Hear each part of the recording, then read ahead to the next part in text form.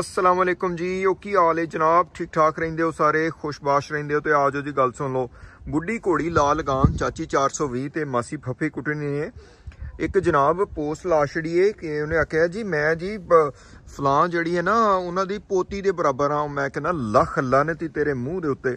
ਉਹ ਬੰਦੇ ਦਾ ਮੂੰਹ ਚੰਗਾ ਨਾ ਹੋਵੇ ਤੇ ਗੱਲ ਹੀ ਚੰਗੀ ਕਰ ਲਵੇ। ਉਹ ਮਾਸੀਏ ਤੇਰਾ ਕੱਖ ਨਾ ਰਵੇ। ਤੈਨੂੰ ਲਵੇ ਮੌਲਾ ਤੇ ਵੱਜੇ ਬਰਫ਼ ਦਾ ਗੋਲਾ। ਤੇ ਤੂੰ ਪੋਤੀਆਂ ਦੇ ਬਰਾਬਰ ਦੀ ਉਹ ਤੇਰੀਆਂ ਤੇ ਆਪਣੀਆਂ ਪੋਤੀਆਂ ਹੋਣ ਵਾਲੀਆਂ ਨੇ। ਅਗਰ ਤੂੰ ਬੱਚੇ ਬੁੱਚੇ ਹੁੰਦੇ ਤੇਰੇ ਤੇ ਤੇ ਹੈ, ਕੋਈ ਸ਼ਰਮ ਕਰ ਲੈਂਦਾ ਬੰਦਾ।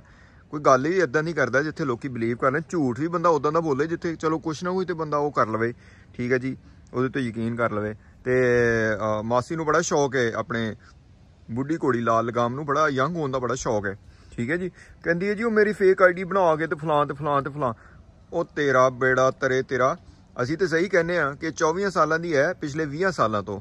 ਐਵੇਂ ਹੀ ਹੈ ਨਾ। ਮਾਸੀਏ ਫਿਰ ਉਠਣਾ ਕੀ ਹਾਲ ਹੈ ਤੇਰਾ? ਠੀਕ ਹੈ? ਬੁੱਢੀ ਘੋੜੀ ਲਾਲ ਲਗਾਮ ਤੇ ਐਦਾਂ ਦੀਆਂ ਪੋਸਟ ਲਾਉਣ ਦਾ ਕੋਈ ਫਾਇਦਾ ਨਹੀਂ ਹੈ? ਆਪਣੀ ਬੇਇੱਜ਼ਤੀ ਕਰਵਾਨੀ ਰਹਿਣੀ ਹੈ। ਚਲੋ ਖੈਰ, ਤੈਨੂੰ ਇੱਜ਼ਤ ਨਾਲ ਹੈ ਹੀ ਕੀ। ਠੀਕ ਹੈ ਜੀ। ਤੇ ਜਿੰਨੀ ਤੇਰੀ ਛਿਤਰੋਲ ਹੋਵੇ, ਓਨਾ ਹੀ ਤੈਨੂੰ ਚੰਗਾ ਲੱਗਦਾ ਹੈ। ਤੇ ਤੇਰੇ ਨਾਲ ਵਾਲੀਆਂ ਛਛੂੰਦਰਾਂ ਨੂੰ ਵੀ ਬੜਾ ਚੰਗਾ ਲੱਗਦਾ ਠੀਕ ਹੈ ਜੀ।